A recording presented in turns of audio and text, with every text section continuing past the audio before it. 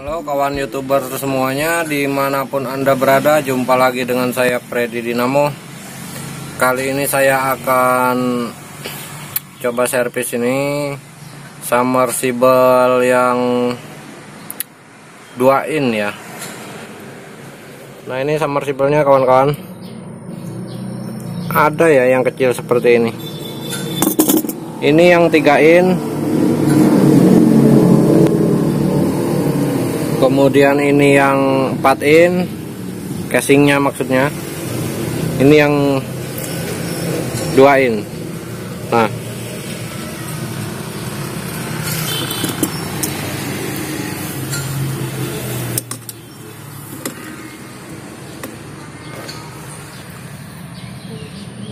Ini aslinya 3,8 kemudian yang ini 2,8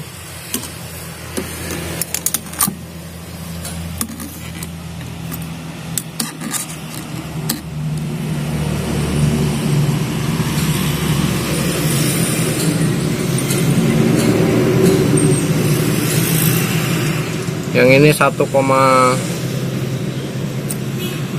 eh, 2 in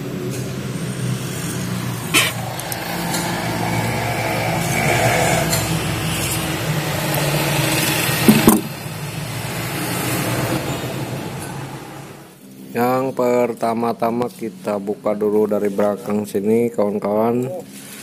Nah ini cara bongkarnya seperti ini perhatikan. Sangat mudah sekali ya kawan-kawan. Apabila ada submersible anda punya eh, apa rusak jangan dulu buru-buru dibawa ke bengkel. Nah ini caranya seperti ini kawan-kawan uh, mudah-mudahan penyakit ini tidak sampai ganti kawat ya. Karena kalau sampai ganti kawat itu yang fatal ya. Bisa menghabiskan dana yang cukup lumayan kalau sampai ganti kawat. Itu pun bisa eh, pengerjaannya bisa sampai 5 jam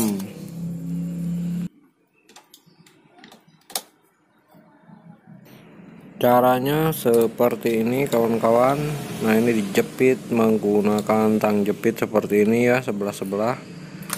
Nah itu lihat kawan-kawan mudah sekali bukan? Untuk mem membukanya. Nah ini tersisa tinggal karetnya. Nanti tinggal kita congkel pakai tang lancip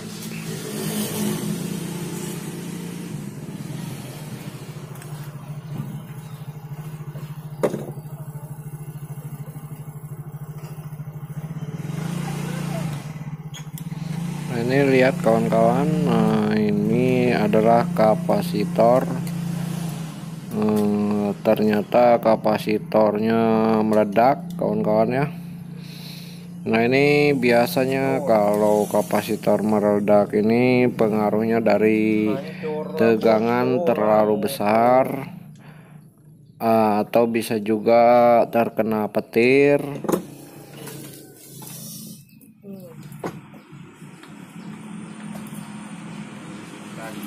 Nah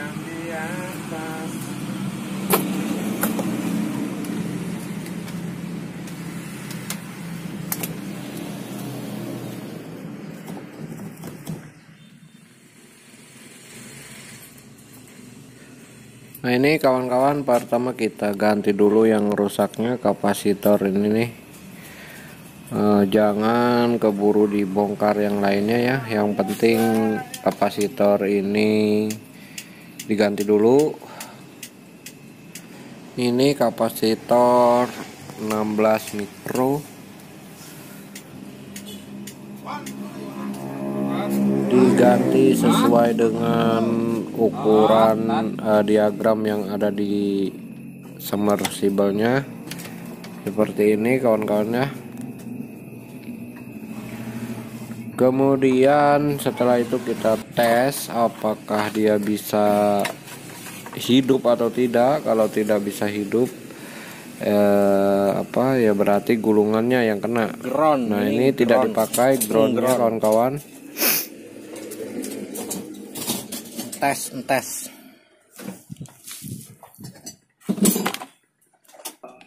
pada waktu pengetesan usahakan ada ampernya kawan-kawan ya. Nah ini tidak naik sama sekali berarti menandakan bagus tidak ada yang rusak.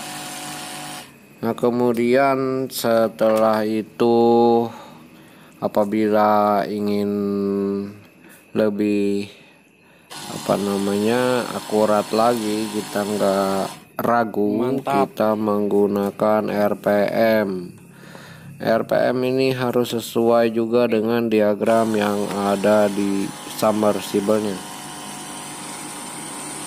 Contohnya seperti ini ya kawan-kawan. Submersible ini memiliki RPM 2850 apabila kita ukur 2850 atau lebih itu bagus Terima kasih sudah menonton video saya. Jangan lupa subscribe, like, komen, dan share.